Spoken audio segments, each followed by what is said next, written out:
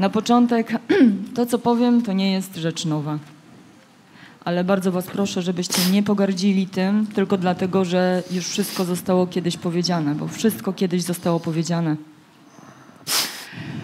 Miałam powiedzieć jedno poselstwo, teraz jak leżałam, przyszło mi drugie, więc zacznę od tego drugiego. Jakiś czas temu, jak sobie ustawiłam nowe hasło w komputerze Czas na zmiany, postanowiłam kupić sobie nowy zegarek z nowymi funkcjami. I na początek ten zegarek mnie zaskoczył, bo wybiegłam sobie, jak zwykle, wybiegłam sobie na piątkę, e, czyli na 5 kilometrów. I w ogóle nie zajrzawszy do instrukcji tego zegarka, go założyłam, ustawiłam sobie, że biegnę i on na cały głos zaczął komentować to, co ja robię. Moje tętno, moje osiągi, było mi głupio, bo po jakiejś wielki, większej przerwie w ogóle wybiegłam na tą piątkę e, i wszyscy wiedzieli, że w ogóle mam zadyszkę. Nie wiedziałam, jak go bardzo szybko ściszyć, więc w ogóle e, przebiegłam tą piątkę ledwo, ledwo, komentowana przez ten zegarek. I usłyszałam, w rzeczywistości duchowej wszystko jest jasne. Amen. Wszystko, cała Twoja kondycja jest jasna. Ale to jeszcze nie to. Ja się bardzo starałam, żeby się utrzymać w formie. I w pewnym momencie trafiłam na a, pewnego człowieka, który też się kiedyś bardzo starał. Zrobił w, chyba w 6 lat masę 40 kilo e, w, samego białka, czystej masy mięśniowej. E, stał się bardzo popularnym trenerem, po czym zemdlał na randce.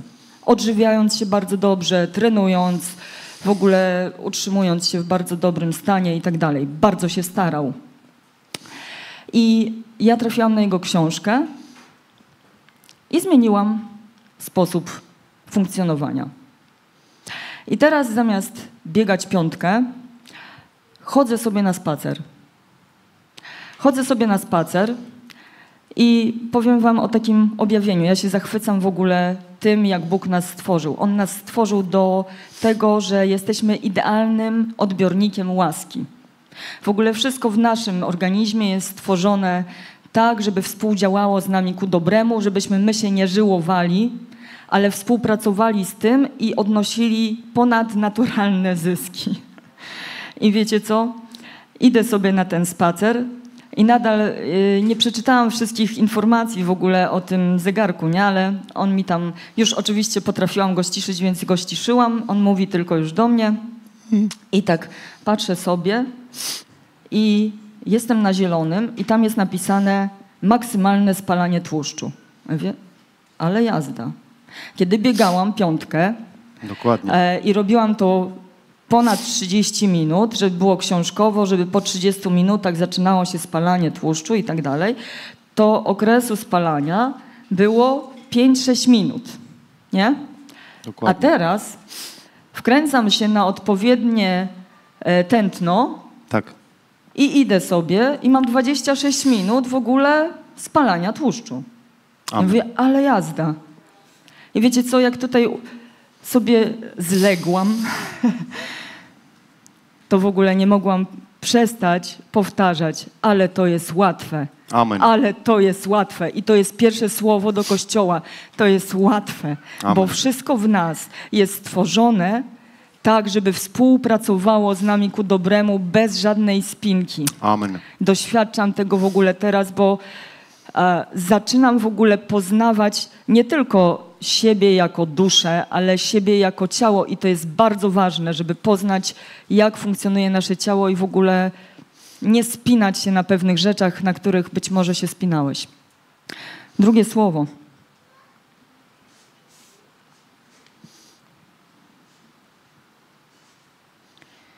Zacznę od Izajasza, ósmy rozdział, dwunasty werset.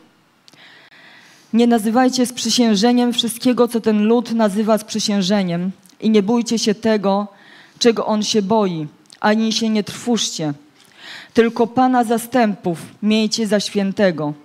Niech On będzie waszą bojaźnią. Zanim wyjaśnię, co to ma do rzeczy, powiem wam kolejną historię z zegarkiem.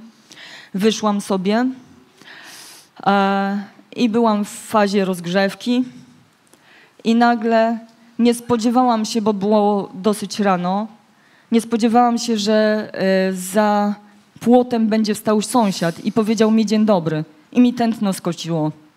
I w tym momencie mój zegarek powiedział coś w tym stylu. Zachowaj uważność. Amen.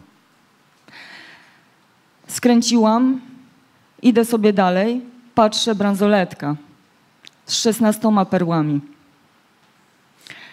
Poszłam sobie na ten spacer, rozważałam, co to jest, te 16 pereł. Wiem, że mam o tym powiedzieć, bo w ogóle wszystko mi mówi o szesnastce. A więc perła to jest Chrystus, Boże Królestwo, światło, prawda. Nie nazywajcie sprzysiężeniem wszystkiego, co ten lud nazywa sprzysiężeniem. Wczoraj była, przedwczoraj była pewna, e, stała się pewna rzecz, która dotknęła wielu krajów świata. I e, to była awaria gdzieś tam w Microsoftie. Moja firma była unieruchomiona. Było unieruchomionych bardzo dużo lotnisk, szpitali. Wszyscy ci, którzy mieli postawione swoje, e, swoje systemy informatyczne na pewnych komponentach. A dwa dni wcześniej rozmawialiśmy sobie w firmie, tak między sobą, że wystarczy wyłączyć prąd i większość z nas traci kompletnie w ogóle rację bytu. No bo nasze zawody obierają się na prądzie. Tak. I wiecie co?